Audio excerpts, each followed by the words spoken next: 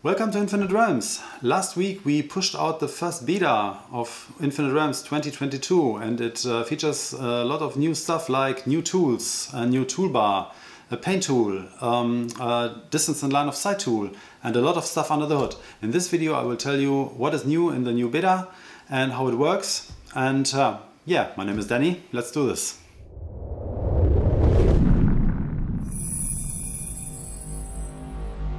Okay, let's start with the uh, new tool menu we've implemented in the first beta of 2022. So right up here you see the new toolbar that uh, slips in from the top and the pre-selected tool on every map is the movement tool and with this movement tool we combine all the movement options we had before. Um, you are still able to just use the arrow keys or the WASD keys to move on the map but with the movement tool, you now also have the option to left drag the map. Uh, I'll have to close down the menu for that. This is just dragging. And yeah, let's get a bit around here. If I want to center on a special point on the map, just like this rock here, I just right click on it and the map will center on it. Whoop. Here we go. So this is the move tool. Ah yeah, and uh, the last feature of the Move tool is that you can now, we had this in the past um, and we have just re-implemented it, that you can use the mouse wheel to scroll in and out of the map. And we still have other things. The distance and line of sight tool is also new. You can use this on 3D maps as well as 2D maps, but on 3D maps the line of sight also works. On 2D maps you have nothing that can block line of sight because you just have a canvas that works like a movie or like a picture. On 3D maps we have 3D objects and the 3D objects have colliders and these colliders can tell that the line of sight is blocked basically. So I click on any point and now we'll get this funny tool. It will tell us uh, on this marker what the distance is. It is currently in meters but in the future we will implement it that it can be translated to feet automatically in the settings. So um, this has a distance uh, value and it has a height value. And the height value can be manipulated by just uh, using the mouse wheel. We can go from below 50 meters to positive 50 meters. And this, as this is 3D space, you can see on the perspective, uh, yeah, uh, where the where the points are in 3D space. So um, once we click a second time, uh, the second point will be fixed, but we can still use the mouse wheel to set the height and uh, check the line of sight. You see this rock, once it uh, interrupts the line of sight, it gets red. Yeah, you can uh, cancel the, the operation at any time with just pressing escape or uh, click another one, uh, another time, the right button at the end to reset the tool. Okay, I'll just click tab again. You can also go to the bottom of the screen and click uh, the little icon that blends in there to activate the menu anytime. And uh, the last new tool I have uh, to show you is the paint tool. This adds a new paint canvas that works basically the same as the Fog of War tool in the past. The Fog of War tool is uh, still there, no worries. Uh, but you have the options to use different colors and different shapes here. Um, the round shape is just a simple brush. You can paint with this uh, shape with different colors.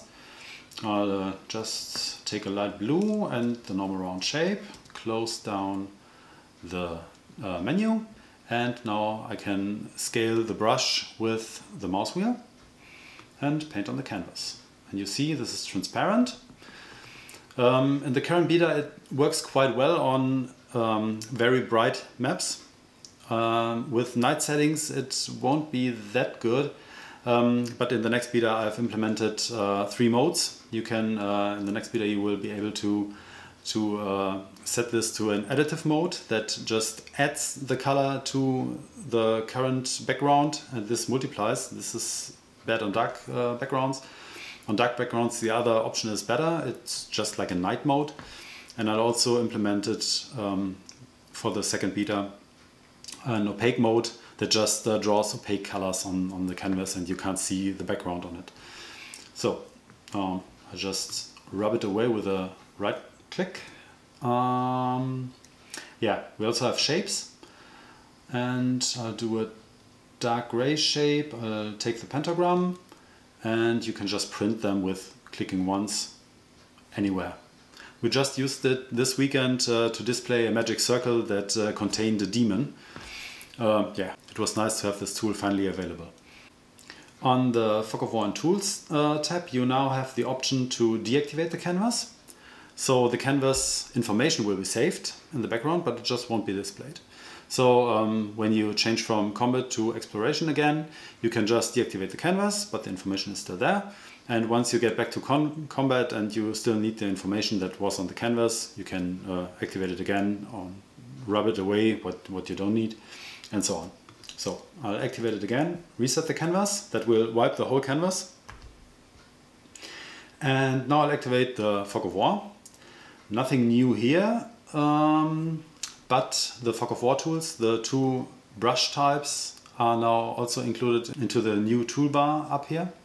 Um, we have the Fog of War brush and it uh, works like just like the brush you saw. You can uh, hold the left mouse button and just clear any areas you want to clear. And with the right mouse button you can cover them again. Uh, you resize the brush with a mouse wheel and you also have the Fog of War select tool and you will just uh, click on a point, hold and draw to uncover or with a right click cover again.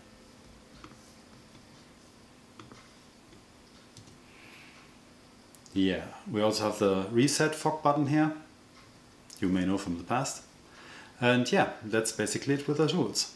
We also added a few features that are quite under the hood. Um, the most prominent is that we added a new database backend. The old database solution that we used had some problems with certain firewall and router configurations with some of our uh, players and, um, and we decided to exchange it to a simpler model that doesn't have as much problems and works basically like HTTP pages.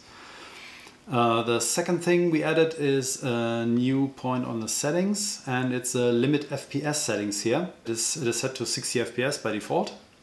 That's everything you need basically for Infinite Realms.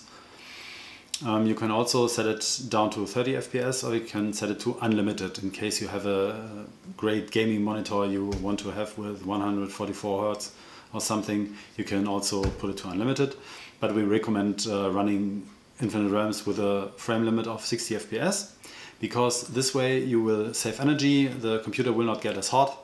Um, if you run on a laptop, the battery will be saved and yeah, it uh, doesn't have any drawbacks and uh, only advantages. So that's that. Let's take a look at my notes. Uh, what did we also do? Yeah, we fixed the bug on the Fog of War. It was possible before to to draw on the Fog of War uh, when you wanted to access the menu and uh, yeah, that was fixed.